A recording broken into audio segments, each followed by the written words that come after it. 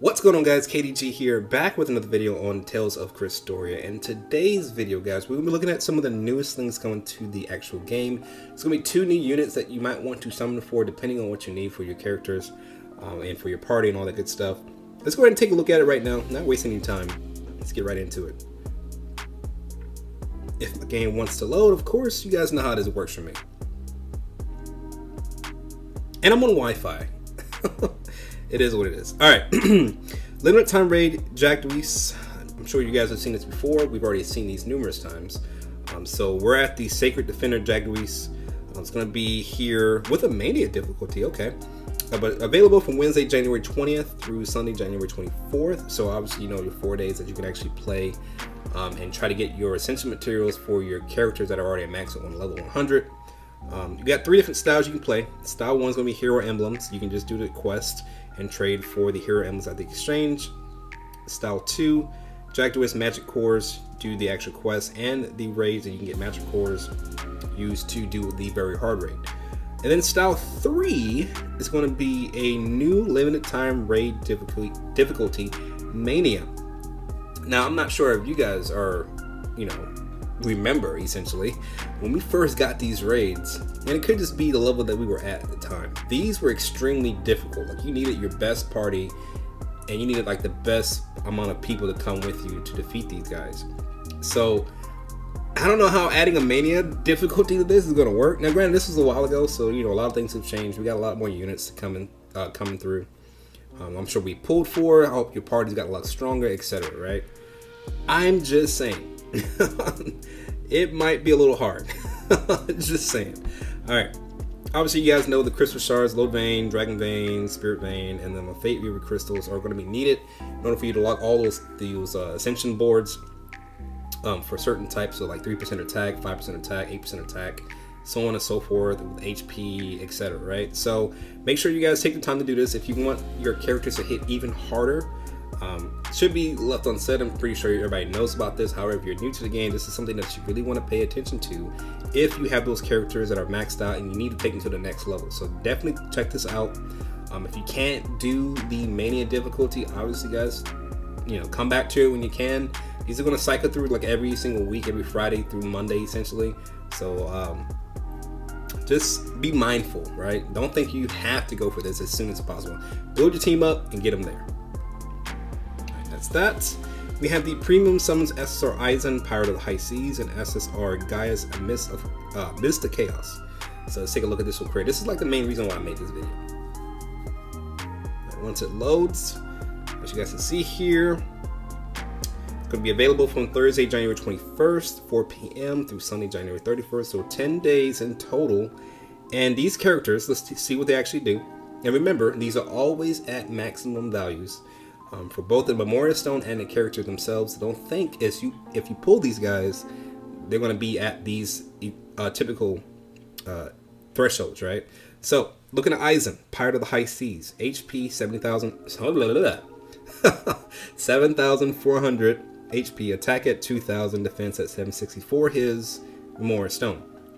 Now the skill is weakness 6, which gives you a plus 48% reduction to the enemy's break. So if you guys are going to be using this unit a lot, it's probably going to be more useful in the raids um, because of the break gauge. I'm sure in the tower as well, but once you beat the tower, that's pretty much it. You're pretty much be doing raids for the most part if you finish the story as well. So I consider him a raid unit, well, a raid Memorial Stone. Now, taking a look at the character, um, HP 24k, attack 3750, defense 2200. He's pretty much a glass cannon, right? Doesn't have high HP values, but has a like a really, really high attack stat. And defense is kind of on the low side, for my liking at least. Uh, take a look at the skill here. We have At Life's Helm, plus 8% attack to all allies, plus 20%, plus 20 to the overlimit gauge of Earth allies when enemy breaks. So this could come in handy because when you break an enemy, your characters usually get like an extra boost to their overlimit gauge, and that can come in handy. And especially those units that have a high overlimit gauge value, like 240, this could play a definitive part to kind of get that extra damage and do more damage over time, essentially. All right, looking at the miss, looking at the arts, you got the Mystic Art, Perfect Mayhem. Its physical attack at 370% hits seven times to one enemy, so single target. Art 1 is Last Throws as a melee attack at 170, 170%, hits three times to one enemy. And Draconic Drive, which is a melee attack at 190%, hits three times to two plus enemies and it's AoE. So he's kind of a mixture. He's more of a single target, I would think, for his stronger skills. But I don't know. Uh, Art 2 is AoE, hits 190, 190% uh, to three enemies. I'm sorry, hits three times to two plus enemies. Could be three enemies if you hit right in the middle of the other uh, two. So, I mean, that could be something, right? Alright, looking at Gaius here. Mist the Chaos. Memoria Stone, HP 10k, attack 1600, defense 900. With the Memoria Skill, Assault 6 win. Overlimit gauge of win allies increases by 80 at the start of battle.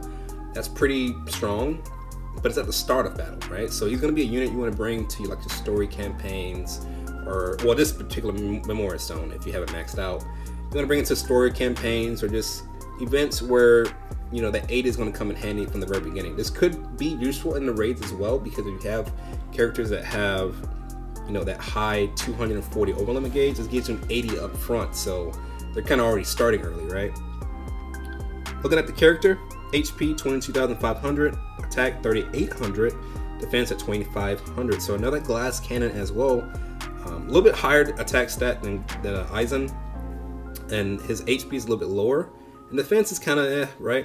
Uh, looking at skill, I'll take care of this. Plus 5% defense to all allies, plus 15% attack to win allies. So if you're bringing a win team, he could be useful, in my opinion.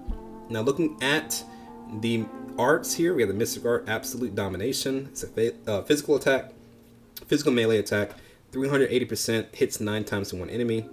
Um, art 1, Demonic Wrath. It's another melee attack, 160%, hits 4 times to one enemy. And then Incineration Wave, which is another melee attack, 120% hits 18 times to one enemy. So he's going to be a great combo starter. That's for sure. Now with the with the additional effect of Art 2, you get a 100% chance to decrease the defense of one enemy by 10% for 3 turns. That is good because a lot of physical uh, or a lot of damage dealing units don't have a lot of additional effects that either you know make the enemy weaker, make their attack weaker, etc. Right? So this is interesting because you can kind of put him in a certain type of win team that can play off of this, you know, decreased defense of, of 10%. If you stack it with another character that can do the same, if you have another support character that can do the same, you know, it could come in handy. So, you know, you gotta play your cards right, see what units work. I don't really have a team composition in my head just yet, if I decide to go for this unit, but just thinking outside the box could, could land you uh, a nice little team around this character. Alright, so those are the characters. Let's go ahead and back out of here. Look at the selected summon SSR Asbel. I believe this is the Count, right? If not mistaken. Yep, Count Asbella. Okay. So, obviously guys, you've seen this unit before. He's if you haven't, if you're new, you haven't seen this unit before, he's one of my favorite looking units. Um, his uh, Morris Stone, let's take a look at it. HP 5005, attack 2350, defense 600. So it's not the best Morris Stone, but that Assault 6 sword, overlimit gauge, overlimit gauge of sword type allies increases by 90 at the start of battle. Like I said, just like Gaius, this is pretty interesting because you know you can kind of build around that and find units that need that extra boost, right? So not bad in my opinion. So you, you know, it's only one turn, unfortunately, at the start of the battle. So don't think it's something that's going to be reoccurring. But I mean, that extra little bit of damage you do could be the determining factor. All right, now looking at the actual unit itself, HP 2100, attack 3850, defense 2450. So another glass cannon here. It seems to be kind of where the direction they're going right now. Um, the skill, Dark Beckoning, plus 4% of defense to all allies, plus 15% attack to dark allies. Um, and then the actual Mystic Arts here, I'm sorry, the arts here. First Mystic Art, Bright Fire Blade, which is a melee attack, 170%, hits 10 times to all enemies. I'm telling you, it's not bad. 170, 170% kind of potency is kind of low in terms of like damage, but you're hitting all enemies for 10 hits. So he's gonna be a good like combo starter at least, right? With that just Art right there. The Art 1, Wolf Wind Fang, is a melee attack at 120%, hits 6 times to one enemy, with 100% chance to decrease defense of one enemy by 20% for two turns. Now, stack this with Gaius, who has the uh, skill 2, well, his art 2 essentially, that has a 10% for three turns. You got 30% for at least two turns. so, you see where I'm going here? Like, you can do some, some crazy things with your characters if you're just paying attention to what their additional effects do. Alright, Art 2, Aurora Lotus. It's another melee attack at 130%, hits 12 times to one enemy. Another great, useful art that you can start off with with a combo. So look into that, guys. I'm telling you. Um, additional effect, 100% chance to cast debilitated on one enemy for three turns. Another great way to do extra damage and to prevent the enemy from doing as much damage to you. So, not bad. Um, I mean, this is why I really want it as Bella the Count, or Count as Bella essentially, just because of these kind of you know effects that he brings with his skills. Not a lot of melee damage dealing units bring this type of utility with them, but it's good to see other units kind of have that shine, especially like different versions of the same unit that's already been released already.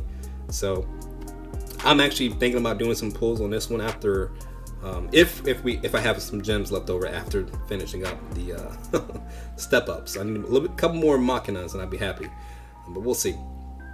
And that's pretty much it, guys. I don't want to make this a, too much of a long video. Just want to talk about the newest things coming to the game in the next couple of days. Obviously, you guys know that the SSR, I'm sorry, the New Year's campaign is still happening, as well as the limited quests, um, Anise pals to and fro, the Transcendence battle. If you guys haven't done that yet, done that yet, make sure you get on it.